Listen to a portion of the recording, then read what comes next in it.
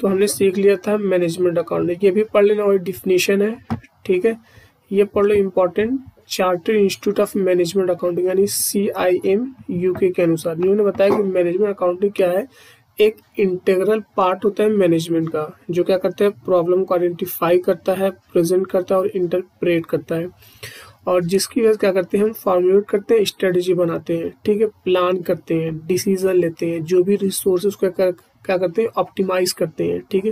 यानी सही से यूज़ करते हैं और अपने इम्प्लॉय क्या करते हैं इन्फॉर्मेशन को डिस्क्लोज करते हैं असेट को सेव करते हैं, ठीक है? तो आई होप यहाँ तक कॉन्सेप्ट क्लियर होगा।